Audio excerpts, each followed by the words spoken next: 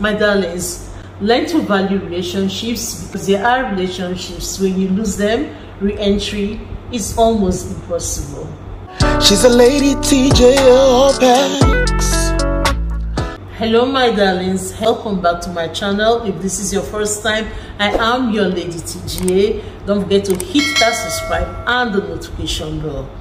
Listen, this is not supposed to be funny, but in this particular instance, it is funny for a reason and it reminded me of something that happened to me.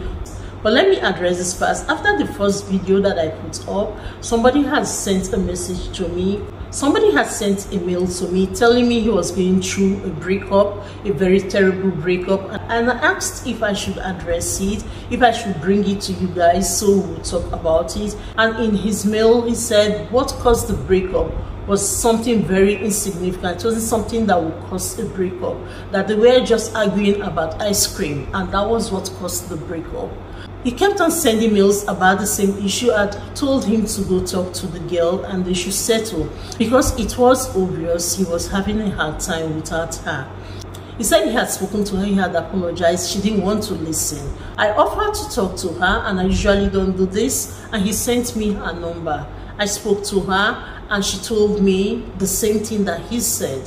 She said she just wasn't interested again, that it wasn't really about the ice cream, but that she fled up when he told her she was taking too much ice cream.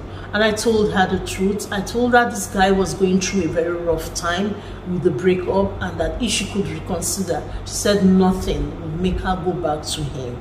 And I said it was something they could talk over, that it wasn't worth breaking up for. She said she had made up her mind, that in fact she had met some other person and that she wasn't ready to go back to him.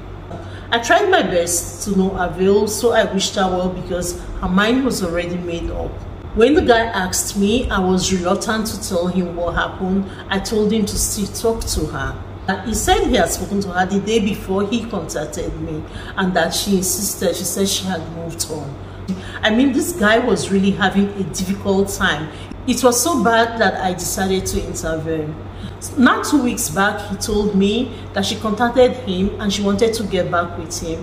And I encouraged him to do that. He said no, that the breakup was very hard on him and that a lot of time has elapsed between the breakup and when she decided to contact him. He said he was here to reply her, but he has not replied because she was not worth replying. So I told him that he shouldn't um, let it get toxic, that he should take things easy. And then yesterday he sent me a message that he has seen the perfect reply for her. So I said, I hope they are getting back together. He said, never. Out of curiosity, I asked why it was the perfect reply. He said it was something he got off the internet and it expressed exactly the way he felt that he was going to send it to me. When I read it, I felt it was so childish. At the same time, it was a perfect response, knowing what this guy had gone through. I'm going to post the message he sent to me. Let me read it now. Let me read it now. I miss you. I'm sorry and I want you back. Then his response.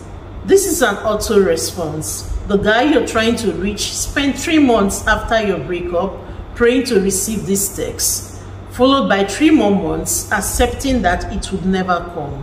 The six months after that were spent dating other girls to get over you. It worked. Your text is a year too late and he blocked you.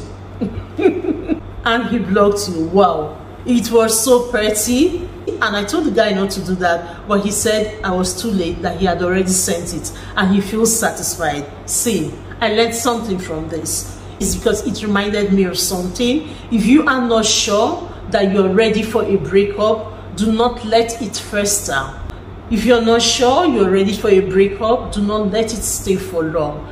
I told you it reminded me of something. About five years ago, I had a relationship, a girl, my friend, a very close friend, a friend that I cared so much about. We were very close.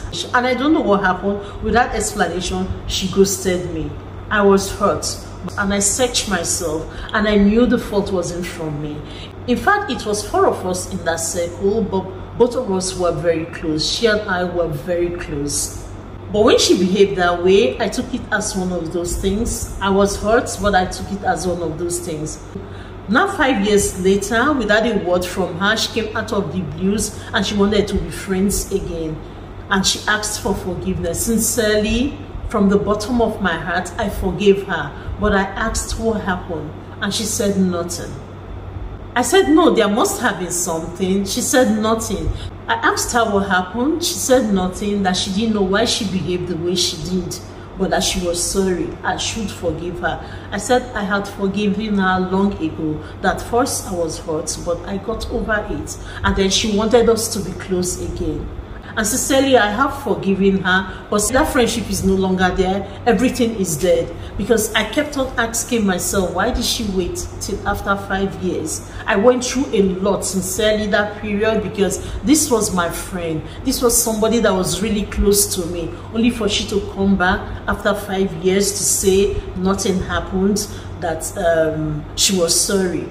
I forgave her but I realized there was no space for her again in my life. I couldn't have sent this kind of message that this guy did, that he said he got off the internet, but I think it would have been funny if I had sent something like this. See, human beings are not toys. Human beings have feelings. You don't toy with people's feelings. See, you don't turn off your emotions on and off like a tap. You don't walk in and out of people's life as it suits you because you know they cared for you and you feel that they will always be there. Me, I learned this long ago, but I'm sure this will be a shocker to his and his girlfriend because I'm sure she thought it's just a year and she could just walk in. No, human beings are to be valued. Tribe let me know in the comment section if you've ever found yourself in that kind of situation. Sincerely in any relationship you find yourself value the people in it. Value them.